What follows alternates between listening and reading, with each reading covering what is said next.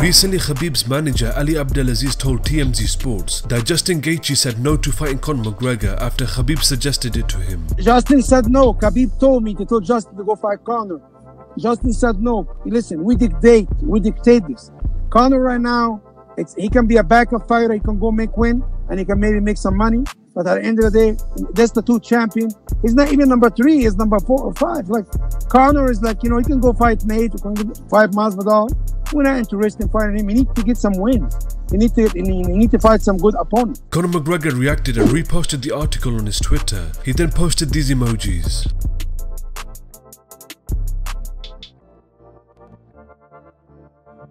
At UFC Fight Island 2, Deiveson Figueiredo defeated Joseph Benavidez via rear naked choke to become the new UFC flyweight champion of the world. Henry Cejudo reacted and posted this on his Twitter saying, Congrats to the second interim UFC champ this week, at Deiveson Figueiredo. He followed up with the real champ is getting his haircut. Here's what Deiveson Figueiredo had to say about his performance. My brakes were broken in there, so I couldn't really slow down. And after that first knockdown, I knew that I had to capitalize on that, and I knew I had to keep going. I'm a knockout artist. Everybody knows that, and we put together that record with podcast with a lot of hard fights. And you know, for anyone that wants to come in and challenge me and fight me, just be prepared because I'm a knockout artist. After that first knockdown, I knew that I had to capitalize capitalize on him. I knew I had to dominate him, and he was able to get out of some positions on the ground. And then I, I threw another knockdown, and I just needed to finish him and, and continue doing what I was doing. I want to dominate my division, and you know, I think a lot of fighters think that fighting is just going out there and throwing punches and getting into fights, but I think you need to have a game plan. You need to fight intelligently, and, and that's the kind of fighter that I want to be. Here's what Joseph Benavidez had to say about his second loss to Deiveson Figueiredo. I mean, there's no quit in me. You know, I've never quit. You know, this is my fourth title shot. It takes a lot of perseverance and no quit to get there again and again and again. Even from the one, this one to the last one, that was some of the hardest points of my life. Like the second to the third one, going through 10 guys, 10 fights, that's what I do. I love to do that. I'm prepared to do that. But what I had to face, even just the last fight with, you know, everything that was out, kind of out of my control, that was so hard on me mentally. So to come back from that, I remember the way I felt after that last fight, and I couldn't control it. And it's like, how do I do everything perfect and like something weird still happens? Like, I was like, just obviously not broken. I never wanted to quit, but that that really challenged me. So there's no quit in me, man. Like I always wondered what I would do. Like if something was sunk in, I'd be like, would I tap? I mean, why not? You know, like you get out of the, you're gonna get choked anyway. But I guess I didn't. I didn't know. I don't know. I mean, I'll never quit. You know, doing anything. So I've always just tried to be the best. I've always tried to be the best I can be, and that's why, you know, this this I can't feel sorry for myself or accept, and I can accept, you know, because I had the best preparation, the best team. I felt good. I felt ready. I left no stone unturned, you know, and uh, and met a better, younger, you know, freaking animal that was better than me this morning. Here's what Dana White had to say about Deiveson Figueiredo's performance. Pure violence. That, that was, you know, no controversy in this one. So, uh, you know, we have a pretty, we have pretty nasty champions in, in, in, those two divisions now. So, I mean, look, look at how good this guy looked tonight. Look at what he did. Ton of controversy in the first fight, you know, from weight to headbutts, you know, no controversy in this one. This guy came in and said, did what he said he was going to do against the, the number two ranked guy in the world. He looked damn good doing it.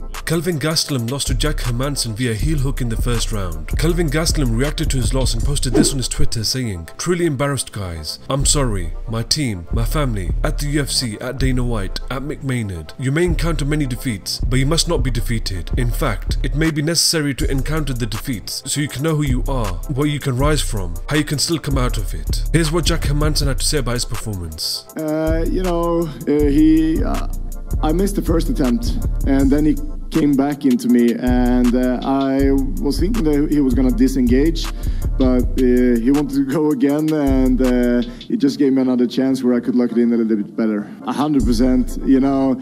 Uh, people don't know that, but uh, the heel hooks has been a part of my game for a long time. But you don't see me end up on the bottom so much, and that's why you haven't seen the heel hooks so much uh, before. Should I end up there again, you're gonna see another heel hooks.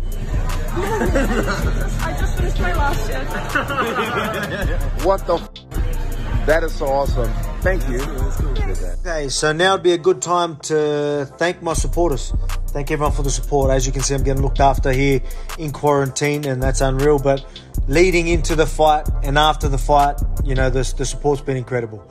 And uh, I've been saying, you know, I fight for you guys. You know, I don't fight for myself. Uh, you know, uh, I don't just fight for my legacy. You know, it's much bigger than that. I fight for my family. You know, that's obvious. I fight for my team. You know, I fight for my supporters. I fight for Australia. I fight for the my Macedonian community that's backing me all the time.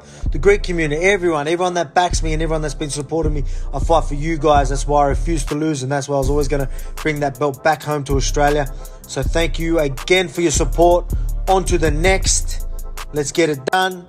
I will be celebrating when I get home. So uh, be ready for that. I'll give everyone a shout, let everyone know what's happening with that. So again, thank you. I appreciate it so much. All right, Marsh. Hi guys, Brett Johns here with the team. Just come off that win. Uh, not particularly very happy with the performance, but happy to get the win. I want to thank my team back home, Adrenaline Fight Night, James Wallace and team there, thank you. I want to thank the boys who have sacrificed their time and effort through this COVID-19 pandemic. The boys at SMMA, thank you Richard Shaw, Carl Parker, Owen Elliott, Jack Shaw, Levi, Scotty, Chris Edwards, every, all the boys. Thank you so much. God bless you all. See you soon. Cymru am.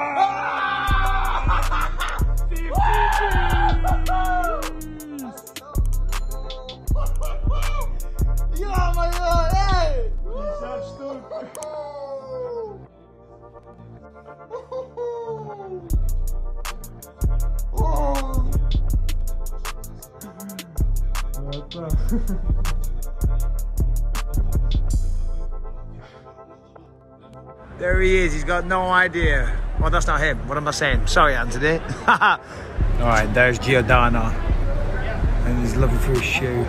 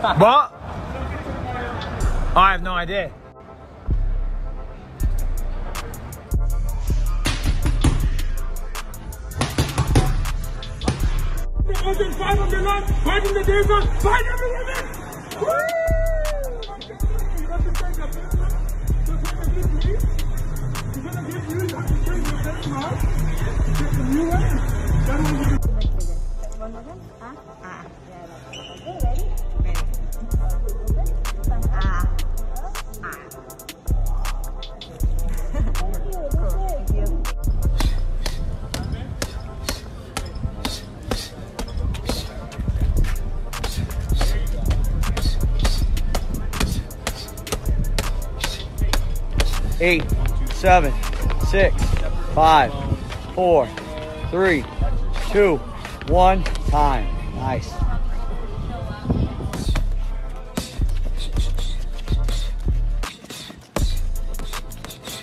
Come on. That's it. Get it. Come on. 15 seconds. Come on.